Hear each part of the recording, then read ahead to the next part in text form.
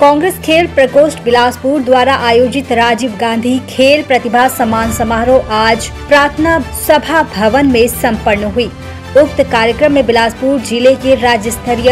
राष्ट्रीय एवं अंतर्राष्ट्रीय स्तर पर अपना खेल का प्रदर्शन करने वाले 300 विभिन्न अलग अलग खेलों के होनहार खिलाड़ियों, कोच एवं खेल के क्षेत्र में खिलाड़ियों को पहचान दिलाने वाले खेल पत्रकारों का सम्मान हुआ। जिला कांग्रेस कमेटी खेल प्रकोष्ठ शहर के अध्यक्ष श्री शेख समीर ने समारोह के विषय में जानकारी देते हुए बताया कि ये कांग्रेस पार्टी की एक अच्छी पहल है। विभिन्न खेल के खिलाड़ियों एवं प्रशिक्षकों को एक मंच पर लाना भविष्य में इस तरह के आयोजन को और अच्छे तरीके से आयोजित करने की प्रयास की जाएगी। खिलाड़ियों को सम्मानित करने वाले अतिथि श्री अटल श्रीवास्तव जी, अध्यक्ष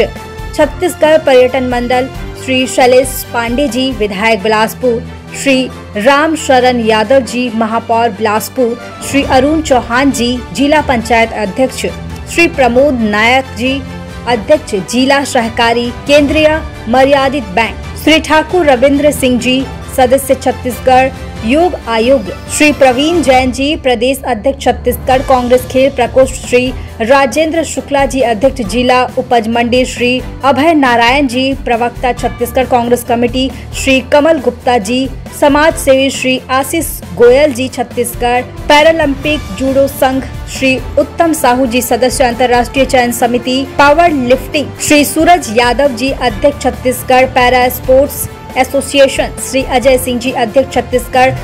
ब्लैक बेल्ट कराटे संघ, पार्षद रामा बघेल जी कार्यक्रम को सफल बनाने में जावेद अली, प्रदेश उपाध्यक्ष कांग्रेस खेल प्रकोष्ठ, राजा अवस्थी, ग्रामीण अध्यक्ष खेल प्रकोष्ठ शेख शमीर, शहर अध्यक्ष